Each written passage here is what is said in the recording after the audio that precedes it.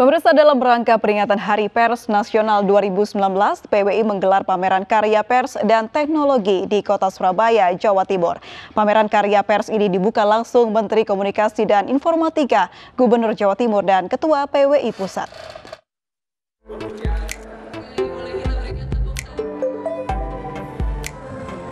Ribuan orang menghadiri peringatan Hari Pers Nasional 2019 yang berlangsung di Grand City, Surabaya, Jawa Timur.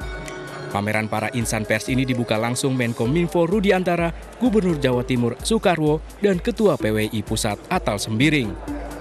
Menurut Rudiantara, wartawan dan teknologi tidak bisa dipisahkan meski media terus berubah, mulai dari cetak hingga kini ke media online.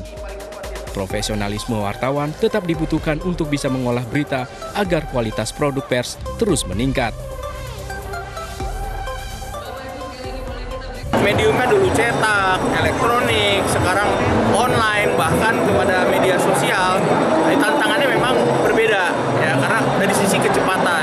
Dan saya yakin insan pers Indonesia selama kita bisa menjaga profesionalismenya, kita tidak akan uh, menjadikan industri pers secara keseluruhan dengan medium berbeda-beda sebagai tempat penyebaran hoax. Ya, yuk sekali lagi saya ucapkan selamat kepada insan pers Indonesia, selamat Hari Pers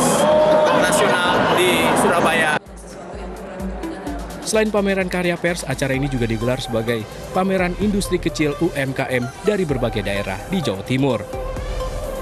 Dari Surabaya, Jawa Timur, Nur Safei, iNews melaporkan.